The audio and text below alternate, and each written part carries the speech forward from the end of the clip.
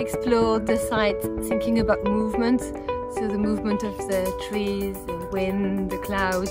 We started with a little dance that Learning Stars have uh, practiced ahead of today.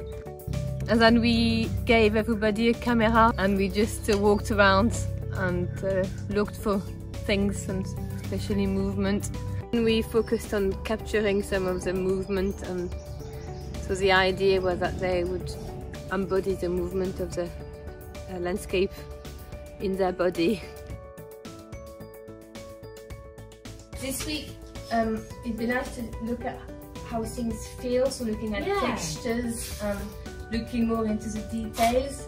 We um, took a, a walk in the woods and I tried to take them somewhere a bit more wild today so we really went inside the woods and we were looking for things, picking things, so leaves, branches, moss which we could then use as props to turn into trees. We did a bit of filming in the wood and again I really enjoyed just bringing a kind of DIY video booth which was just like a black backdrop. We then came back and we did more than things similar to last week but this time with props from the trees so we could use leaves and, and moss on our hands and uh, becoming a bit more like as, as one. I tried to focus on the different um, sense every time. We started the day by standing in the woods and just closing our eyes and listening.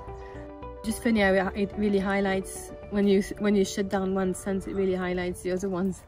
We recreated our old sounds inspired by what, what we've heard